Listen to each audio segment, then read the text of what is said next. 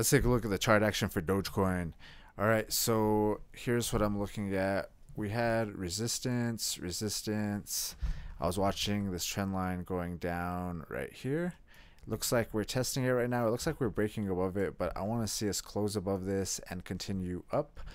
And the other thing I was watching is we had resistance right here, resistance right here, here, here, all in this area. So I put up this trend line as well and it kind of looks like we're breaking that.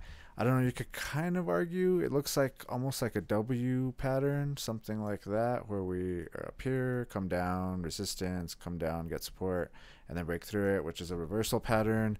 And then what you would do is target from the middle of the W, something like that, and then you would drag to the breakout, where pretty much I have that breakout target of around 22 uh,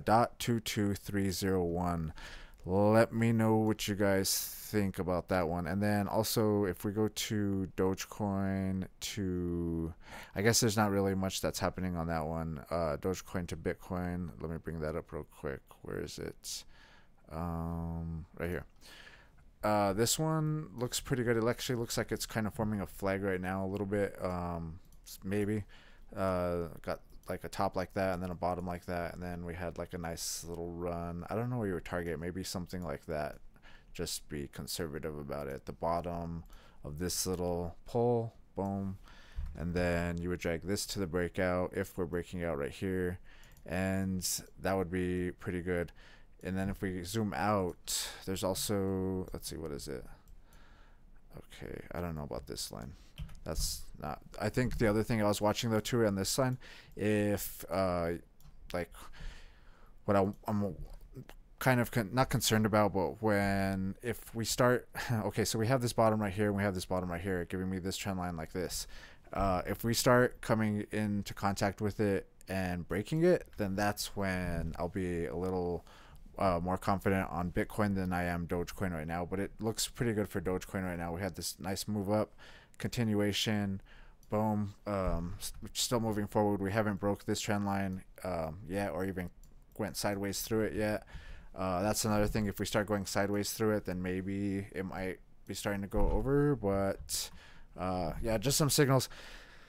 And this is, excuse me, this is the Dogecoin to Bitcoin chart. So if this chart is going up, then it's good for Dogecoin, and if it's going down, then it's good for Bitcoin. So just uh, whatever one you're in.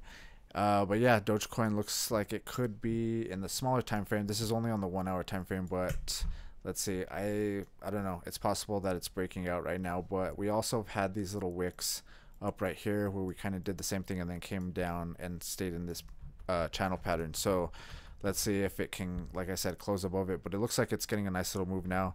Let's see if we could hit dot two two three zero one.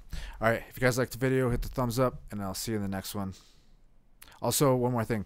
Uh, I'm starting to post uh, my technical analysis of screenshots on my Patreon. So I'll put a link that right here if you're interested. Uh, help support the channel. All right. See you guys in the next one.